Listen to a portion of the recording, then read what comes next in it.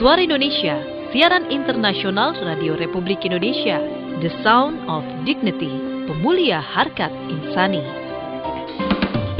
Voice of Indonesia atau lebih dikenal dengan siaran luar negeri adalah siaran internasional Radio Republik Indonesia yang bertujuan untuk memberikan gambaran yang benar mengenai Indonesia kepada masyarakat atau pendengar di luar negeri.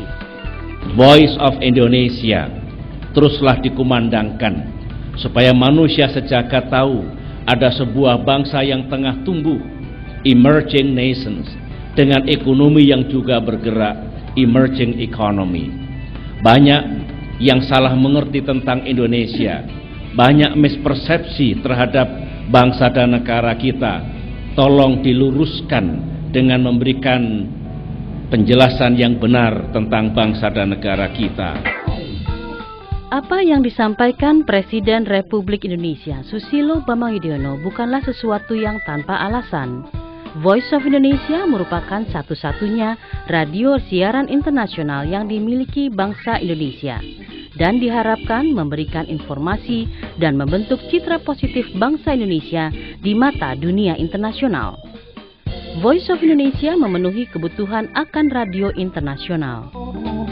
Tidak saja harus, tapi wajib mempunyai suatu sistem siaran radio luar negeri. Kenapa? Karena dia harus dengan itu menyuarakan dan menyampaikan jati dirinya. Siapa dia? Maunya apa?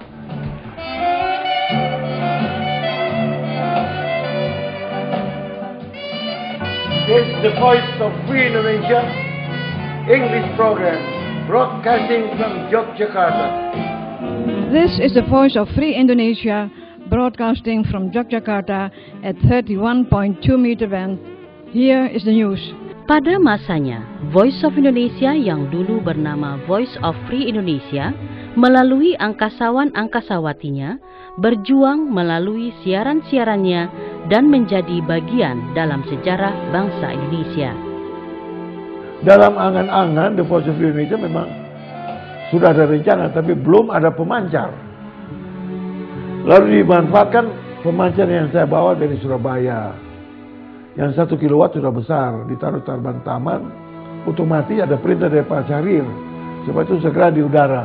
Maka lahirlah uh, siaran luar negeri Republik Indonesia yang kita namakan The Voice of Free Indonesia.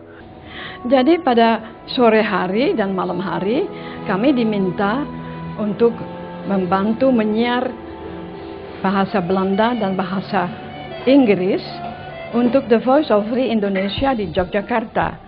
Dengan segala senang hati kami apa membantu Des Alwi dengan beberapa teman. Ada yang bahasa Prancis, ada yang bahasa Belanda, ada yang bahasa Indonesia.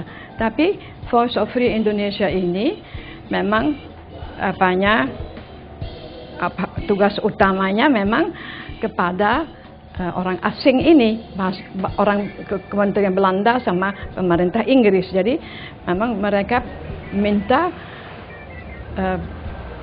kami-kami uh, yang sudah biasa berbahasa Inggris sama berbahasa Prancis, berbahasa Belanda.